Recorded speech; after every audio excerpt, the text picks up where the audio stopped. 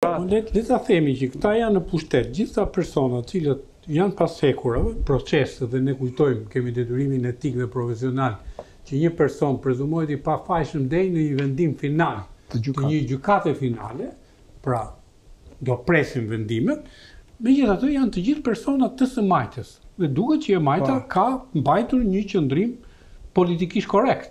Nuk i ka dalë në mbrojtje. Ne kemi pasur raste të tjera me me Partinë Demokratike për akuzat për prokurorinë. Zoti Berisha ka ka mbajtur një qëndrim pro të akuzuarve, bie fjala për njëzet e një janarin. Kështu që për autostradën, po, për um, plot gjëra, po, Berisha ka mbajt dhe dhe i kanë fituar me procedura, nuk janë se kanë fituar. Unë them, unë un them që çdo mbrojtje për shembull kryeministri në këtë rast si në kohën e Berishës dhe në kohën e Ramës, Kryeministri në Shqipëri për shembull nuk duhet të dalë në mbrojtje të një të pandehuri. Në momentin që ai del në mbrojtje të të pandehurit do të pra, thotë që ai saboton. Pra, këtë rast të themi që Rama është politikisht korrekt apo jo? Jo, politikisht është korrekt, për arsye sepse ka dalë në mbrojtje.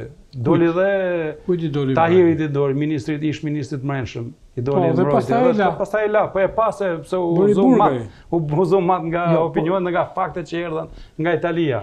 Pra u desh Italia që të sillte faktet që ai do të dorëzohej para drejtësisë. Kështu që e dorëzoi. Por unë them këtë që në çdo rast Rama i i ka ë u ka bërë presion shumë njerëzve, edhe ministrat që i zgjedh, i zgjedh jo të rangut të lartë, i zgjedh thjesht të jenë po besnikë ndaj Ramës. Unë them opinion, s'po shoh një ministër nga qeveria Ramës që është i aftë. asnjë nga këta. Unë nuk Thjesht, mendoj njësoj. Janë llafollogë se po të shofish gjithë fjalimet që mbajnë. Qeverinë e bën kryeministri, qeverinë e bën kryeministri, qeverinë e bën kryeministri, do të ishte e drejta e tij legjitime.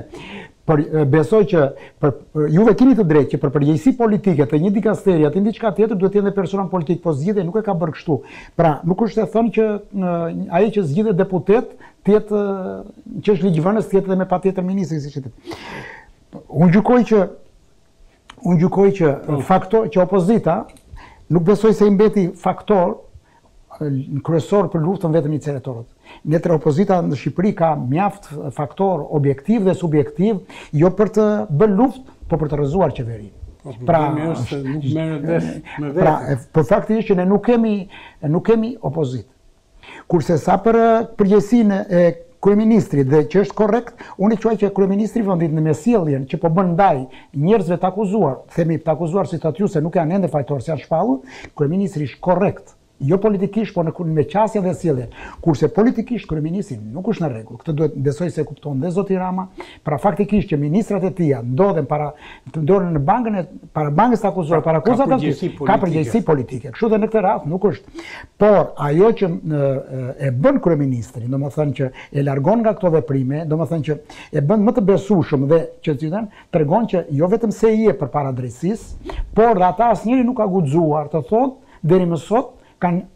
O kanë heshtur nga frika, por nuk besoj që kryeministri i vendit të jetë kaq tutor, kaq i frikë që ata të venë dhe në burg, të bëjnë kaq vite burg dhe mos të flasin.